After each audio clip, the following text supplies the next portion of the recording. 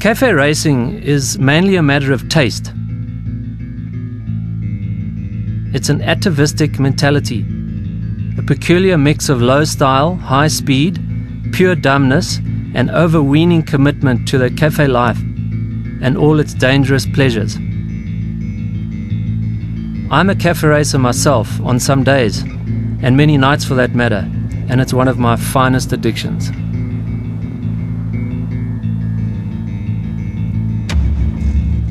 My journey as a photographer to date has been a fascinating one. In my day job, I'm a photojournalist and I've been a photojournalist for about 15 years. About 10 years ago, I bought my first motorcycle, and naturally, being an artist, I wanted to change that motorcycle and I started to customize it. The journey to where I am today, photographing custom vehicles, was quite a natural one. As a biker and as a photographer, I started to marry the two. But what I love about custom motorcycle photography is that it's the direct opposite of being a news photographer.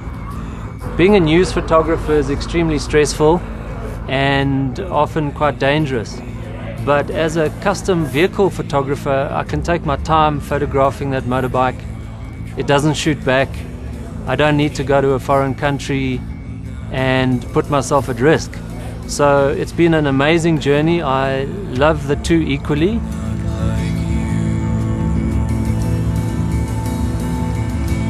What I've found on my journey so far has been an absolutely unique trove of custom treasures in garages all over Johannesburg. So why don't we go ahead and meet our first builder, Constant van der Kolf.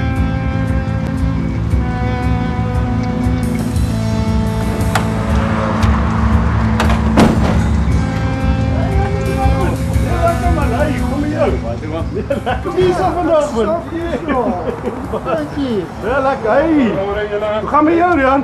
Man. Lekker. Ik blij je hier zo vandaag. We have a antelope here in, in Africa, um, or in South Africa, everybody knows it the wildebeest.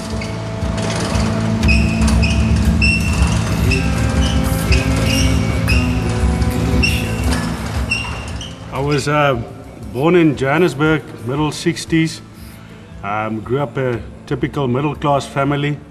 Nothing too great, but uh, I was uh, influenced by my older brothers and cousins. And uh, growing up with these guys and being the experiment or the, ex- the rat of the experiment, you used to get get exposed to quite a lot of things. Uh, for example, uh, building foofy slides. And uh, they're looking up at the foofy slide, uh, you know, thinking, yeah, is this thing going to work or not? And uh, look around, where's the littlest, the smallest guy around here? And they picked me up and hooked me onto the foofy slide, and there I go. And uh, needless to say, what happened to me when I got to the bottom, but that's a kind of thing that sort of cultured me into the things that I'm doing today, I think.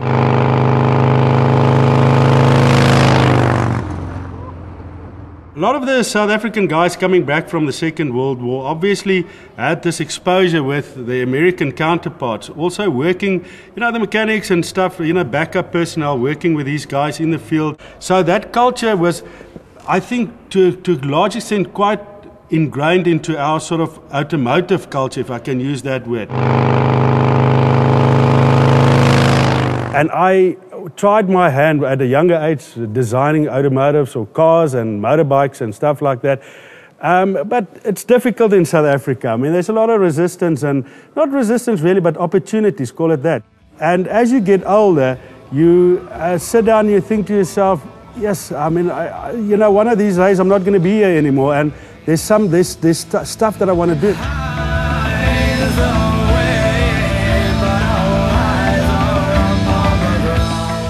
Series like OCC came onto television. I mean, we had that biker build-off series. And uh, looking at these things, I decided, no, this is something I can do. I mean, I, I know that, you know, the artistic or the, the uh, um, creativity is there. I must just put pen to paper. And if these guys can do it, I can do it. Uh, obviously, I knew I couldn't do it alone. Um, you know, there's always partnerships in life that we, um, we have to um, take on. Um, and I was thinking about Sylvester and Tweety, Laurel and Hardy. Uh, who else? I mean, there's some other great uh, uh, partnerships. And, uh, and I got hold of an old friend of mine that was with me at school. I know old nuthead, more nuthead than a mothead, I think. But uh, Johan Oosthuizen, he's from the Lowveld. We're getting a bit grey and we had this chat one day, and I said, listen, I think we've, you know, we've got this, I've got this vision, I don't know if you want to share it with me. And Johan had this whole story about a bucket list, and he decided that he's going to live out, he's going to live out of this bucket, and then he's going to really go for it. So I said, well, okay. I mean, I'll take this as a challenge, so let's build this bike. So he said, no, great gunners. He's all game for it. And I mean, obviously he knew that, you know, we had nothing. I mean, we, here in South Africa, um, you know, are, how are we going to do this thing? I said, no, we're going to do that. I mean, we're going to tackle this thing, we're going to clap it. And he said to me, no, okay, well, I mean, I trust you 100%. And that's sometimes a nice thing about a partnership as well, is that you have somebody that can back you and you can climb into the thing and you can really go for it.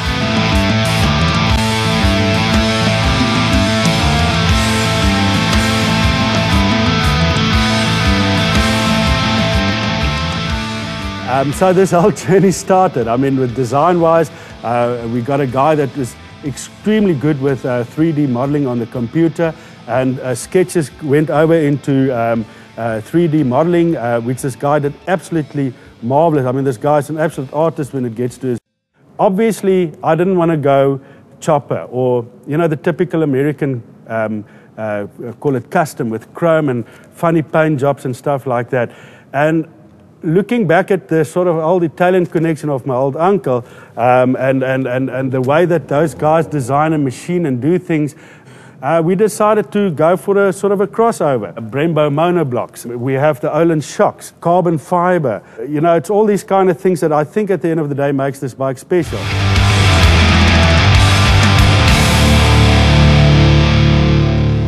So we, we had to make a lot of stuff ourselves. Um, and, and luckily with the exposure that we have in this country uh, with the old weapons industry and, and, and, and the technology that's around us, um, it, it was fairly easy to do it.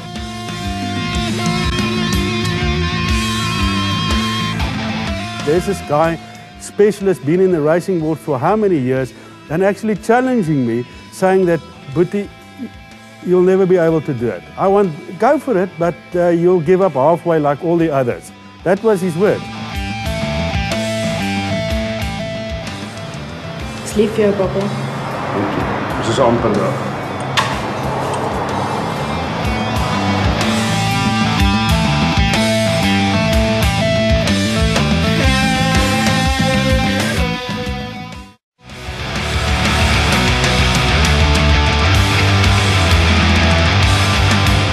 In 2010, I went to the Thousand Bikes motorcycle rally in Johannesburg. And as I was walking across the rally ground, on the far corner, I saw this amazing customized chopper standing on a platform. And also, most importantly, a photograph of my favorite custom bike builder, Indian Larry. And I went over and started chatting to the, to the owner, who turned out to be Constant van der Kolf. The Wildebeest, from my point of view, is a very much an expression of Con because being a designer and an architect by trade, I can see the lines in the motorcycle, the very simple lines, but he's drawn from his military experience and his love of the P52 Mustang to design the belly of the bike and also its overall shape. The Wildebeest is, along the themes of man and machine, the direct embodiment of Con van der Kolf. You know, it's not always about yourself. It's about the people around you. It's about your family, friends, um, people that you meet, people that give you that um, sort of inspiration that drives you, that motivates you to actually do this at the end of the day. And that, to me, is quite um, uh, important. And, and, and I was quite lucky that I had that support around me for, for people to actually get me to, to, to go, go for it full out. I mean, I know at some stages I had this thing in front of me. I said, no, it's not going to work. You know, why am I doing this? I'm a crazy. And then you think about the words of that old Bali saying to me, Boetie, I want you to see, I want to see how you're going to make this thing work.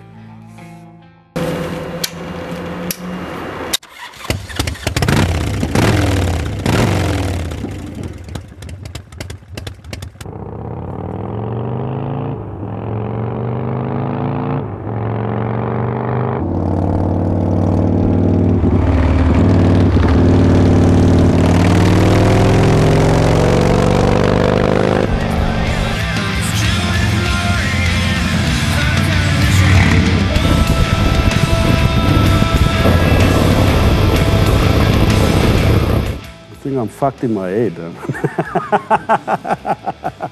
I don't know. I think I'm fortunate in the sense that my wife, when I mean, uh, before we got married, she knew what kind of person I was, and I think to a certain degree, my kids are like myself as well. So. Um, no, and I mean, my friends, I mean, uh, he's even a more bigger nuthead than me. So I'm, I'm the conservative one. So, but, but uh, I think at the end of the day, um, you, you know, they know that you've you got this thing that you want to do, and and and they know how important it is to you, and um, and it sounds selfish, but it's always it's it's great to have people sacrificing their own to be able to or to give you the opportunity to, to, to achieve what, what you've envisaged. And for that, I'm grateful.